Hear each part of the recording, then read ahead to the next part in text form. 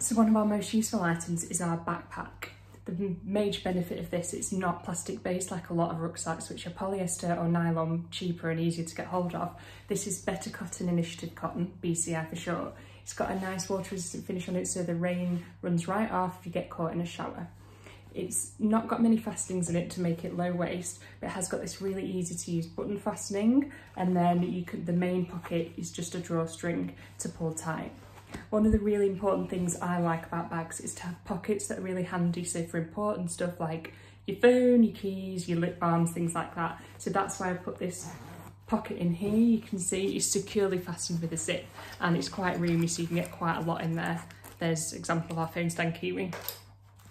It's got tough adjustable straps so you can really get comfortable. You can move these up and down and um, tighten it or loosen it according to um, your comfort. That's our backpack, perfect for a day's hike. I've used it on loads of different walks of different lengths. You can get your lunch, a map, your walk, maybe even an extra thermal layer rolled up in there. So it's perfect for that.